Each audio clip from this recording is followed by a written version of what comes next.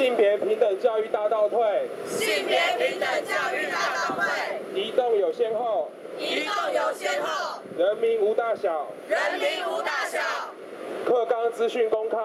课纲资讯公开，全民参与审议，全民参与审议，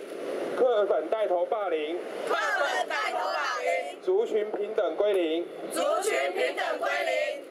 课程纲要是学校呃教科书在呃编辑的时候他们用的一个类似要领这样，那我们会回去反映，就是他们可能在描述他们研修的过程当中，他把这个过去比较不好的用语，他把它放在这个说明里面，可他们在教科用书，同学念的他不是这个课纲，他们是看教科书，教科书是依这个纲要去编辑的。对啊，教科书依课纲编辑啊，我我那教育部现在对我我现在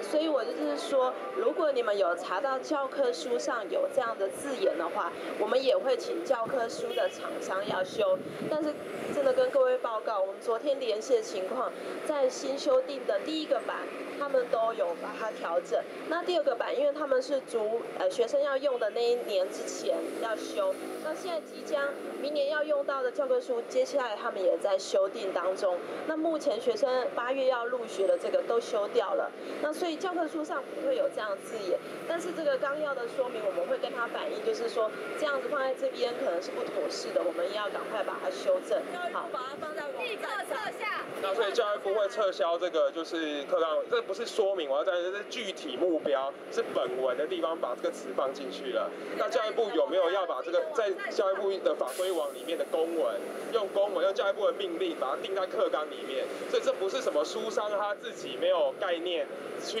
去写，是教育部从上往下的去要教科书上去写这个，我甚至可以这样诠释。因为如果没如果教科书上就看说，那现在要加这个，我就必须把这个例子放进来，用教育部的描述，不然我可能会审定不过。那所以教育部到底有没有要处理这个课纲？到底有没有要把这个课纲我要撤下？还是说明一下，所有的教科书经过检核就是没有这样的字眼。那他们在这个描述的部分，我们会。是下学期的内容，现在当然不会有对我，我还是我还是讲的，就是说，教本是不一样，我们非常清楚哈。好，我我就是把你们的这个意见，我们会请我们国教院的教科书中心，好，我们再了解一下。